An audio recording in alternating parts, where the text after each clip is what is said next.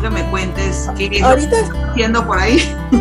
Estoy, bueno, en mi caso, como todos cuarenteneados, estoy específicamente en mi, en mi taller, digamos, espacio, eh, para, para mí, ¿no? O sea, porque llegó un momento en mi vida en que simplemente quería empezar a, a, coser. O sea, lo dejé porque mi vida, digamos, en el mundo corporativo me, me absorbió. ¿Quién era Erika antes de que pasara todo esto? que nadie lo sabe. Ya.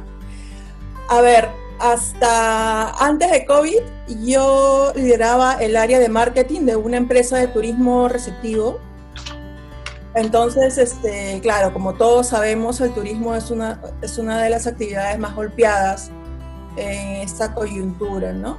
Así que de pronto pasó lo impensable, pasó que ya no tenía trabajo, pues era como que, sorry, fue un golpe pero nada, sí me, me, duró un par de días y, los que dije, wow, esto era impensable.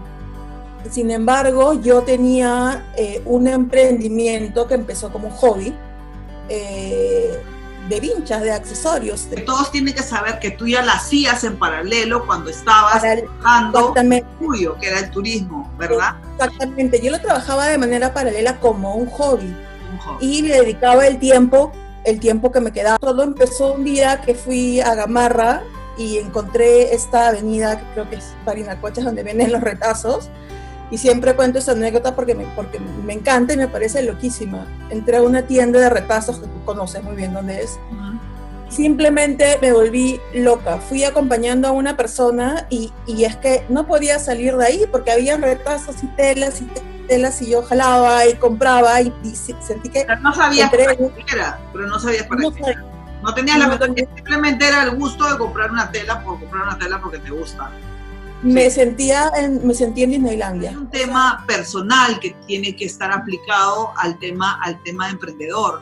O sea, el emprendedor no es que se levanta un día, se sale, sale de la frazada y dice, ay, voy a ser emprendedor, no sé qué. No, hay una fuerza personal que alguien tiene que saber cómo se llama, que hasta ahora no lo descubro, hacer algo que me gusta.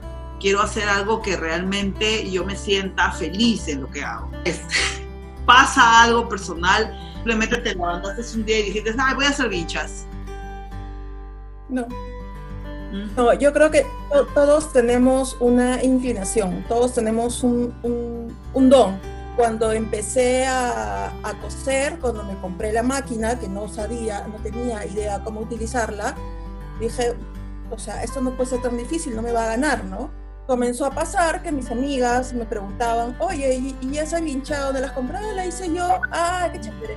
Este, véndeme una, ay, no sé qué te la regalo, porque finalmente, y, y, y, eran mis amigos, mi familia que me decía, ¿qué te pasa? Reales, véndeselas.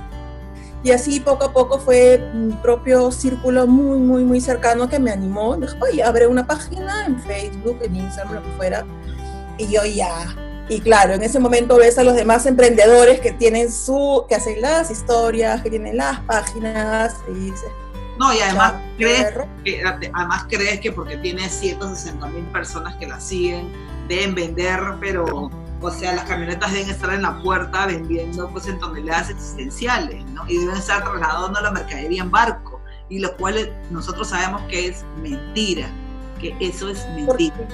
Sí, y además, por un lado, tienes estas estos súper emprendimientos que se ven así recontra pro. Esto va a ser algo mío, es mi hijo. Como tengo un trabajo fijo, finalmente, mire, finalmente no voy a vivir de esto este, cosa que meses después me, dio la, cara, obviamente, ¿no? Entonces, este, las chicas y decían, oye, mis amigas, las personas que compran mis bichos son chicas como yo, son chicas normales. El emprendedor sabe que lo que hace le gusta. Te digo, la gente se queja hoy, hoy día de que, ay, ¿qué vamos a hacer? ¿Cómo lo vamos a hacer? ¿Cómo, ay, cómo, y, cómo será? Y no sé qué. Y yo digo, pero ya hemos pasado esto por, o sea, antes ha sido peor. El emprendimiento ha ido siempre acompañando todos estos momentos históricos. Yo entiendo que las empresas también han apoyado, además respeto mucho a la gente que tiene en este momento empresas porque,